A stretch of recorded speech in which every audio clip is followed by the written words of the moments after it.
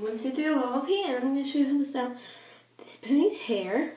I'm going to take, take ponytail out and put it how it regular comes. Yeah, she kind of has sparkles all over her.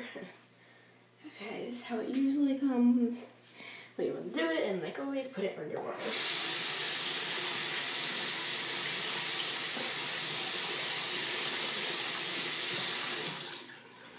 Then you grab one piece from this side, and then put it here.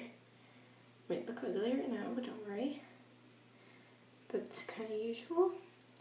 Grab some from this side and put it over here. So it looks like this.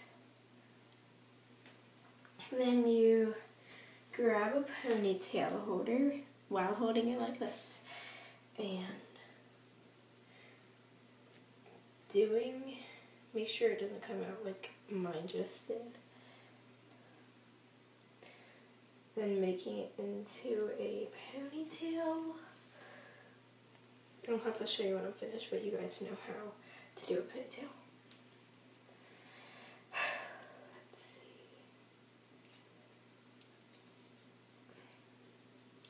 Wow, this is getting really bad. And then you keep wrapping it around, you know, like you do with the regular ponytails. I prefer it to be white or a blue ponytail holder. Or maybe purple.